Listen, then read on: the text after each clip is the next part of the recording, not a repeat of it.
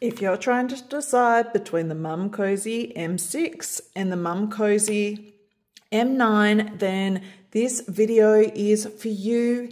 In this video, I am going to discuss the differences between the Momcozy M6 versus Momcozy M9 and help you decide which pump is going to be best for you. So let's take a look. To start with, and probably one of it's really tricky to take these off sometimes.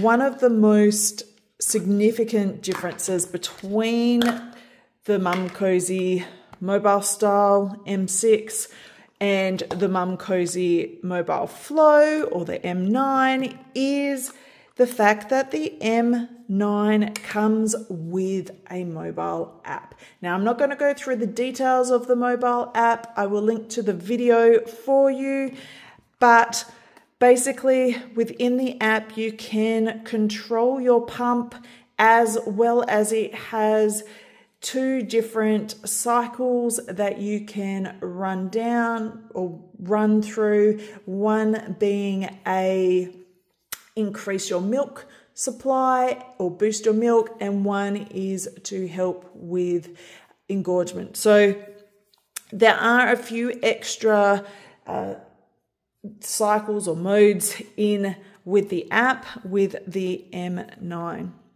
All right, other than the app, these two pumps look a little bit similar on the surface, but they are actually quite different in design.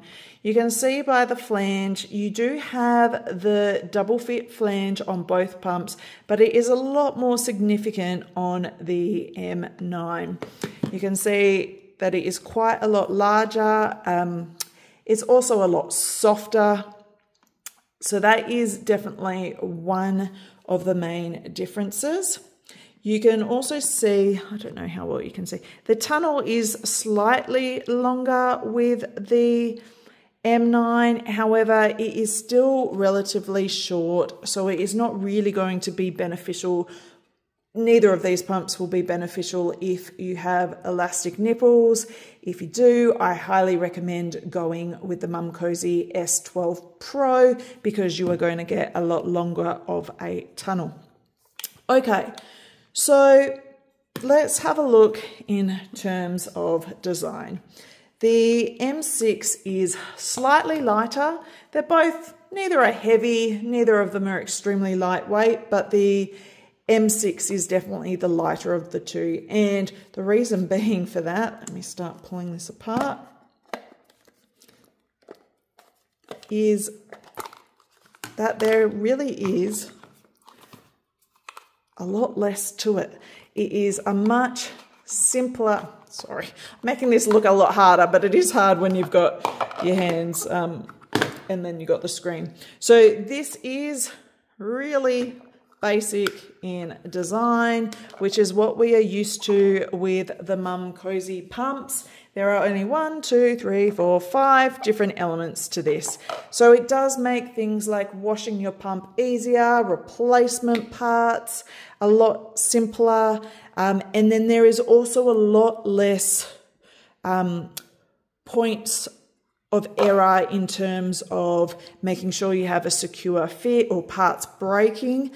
Um, so it, overall, I do much prefer this simpler design. Now let me show you why I prefer this in comparison. So let's clip that back in, pop that on. There we go. So this is the M9. You can already see that this is going, this has quite a few extra bits and pieces to it. One of the most annoying parts for me is this diaphragm. So you have this soft silicon bit that attaches to your harder um, shell. But the part here that I do not like is you have a little opening that this needs to thread through.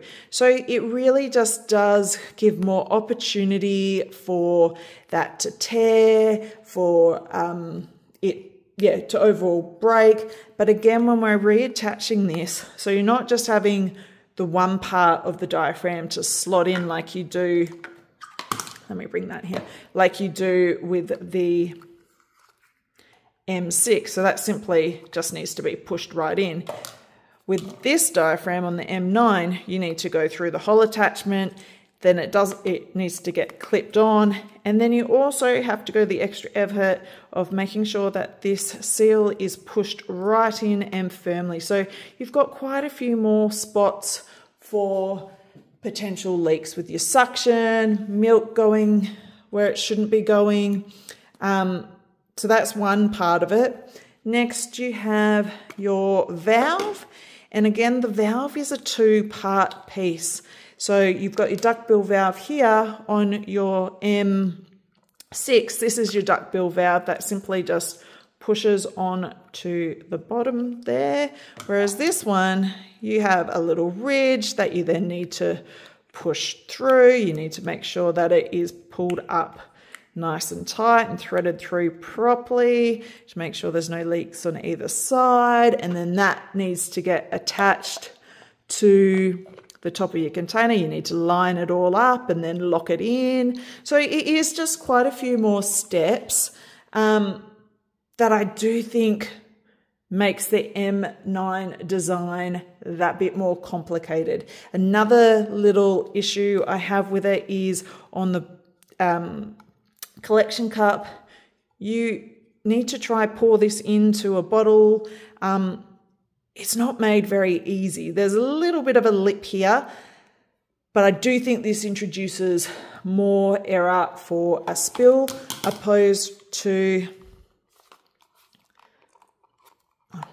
really not making this easy for myself, opposed to the pouring spout that you can see on top of the M6 collection cup. So again, these are little things and I am probably being a little bit picky, but the overall design, I feel like the M9 has more parts that are going to wear and tear and more parts for potentially for it to get broken. Now, the one benefit I do really love though about this design is you get a that comes with your collection bottle. So if you don't want to be transferring it straight away, which is great if you're on the go, you can simply pop your cap on and store your milk accordingly and then transfer it later when you have more time. So this is great if you're on the go or at work.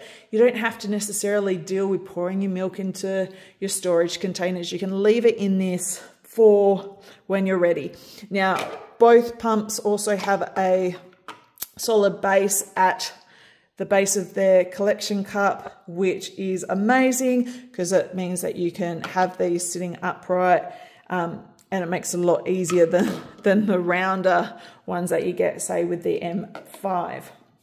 Now, in terms of functionality, so I've talked about the app. The app really does have a ton of benefits, but you can operate the M6 without I'll move these aside and get one that's already done. You can operate the M6, sorry, the M, the M9 without the app. Now, if you're going to use both pumps without the app, it's as simple as turning it on. Both of these are very, very similar in how they work. Excluding the app, you can see they both have their LED screen. You can see all the different data on them. They both have four operation buttons. You do have this left and right button, but that is to do with your app. It doesn't really impact it when you are in manual mode. The one main difference, both have three different modes. So I'll use the M9 as an example. You've got your stimulation, got your expression and you've got your mixed modes. However, with the M9, you have up to 15 different suction levels. Now, this is actually quite a lot more than the M6, which only has nine.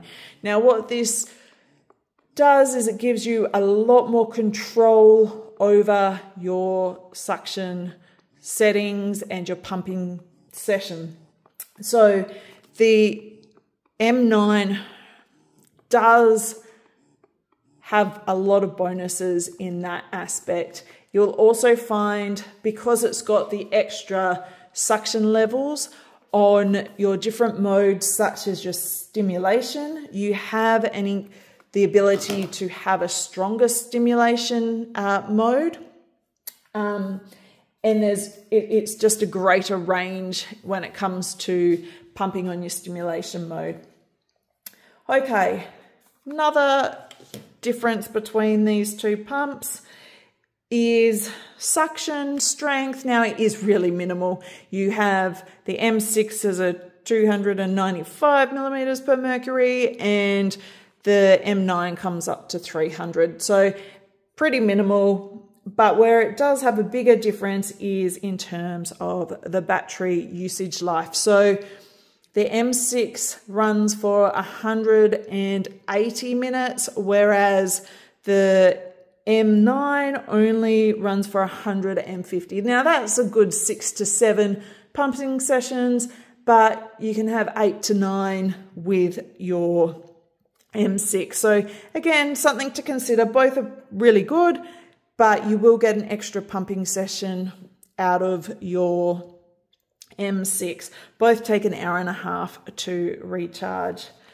So overall, they are two very different pumps, even though they both look similar on the outside with the teardrop design. Once you start looking at the differences with the flanges and then the differences definitely with all the components, they are two very different pumps. Which one is best for you will come down to do you need to have an app to utilize your pump Will you do you want the discretion of using a app so you're not having to manually touch your settings, say in the workplace? Um, you can do it discreetly off your mobile. If that's not really an issue for you, then I probably would go with the M6. It is a lot simpler of a pump to use. It still has most of the same features. You get the benefit of the longer battery life, even though the suction's not quite as strong and you don't have the levels of suction, it definitely is more than adequate for most people. Um, really, for me, it comes down to will you need the app or not? So I hope this video helps. Um, let me know if you have any questions and I will do my very best to answer them. Thanks.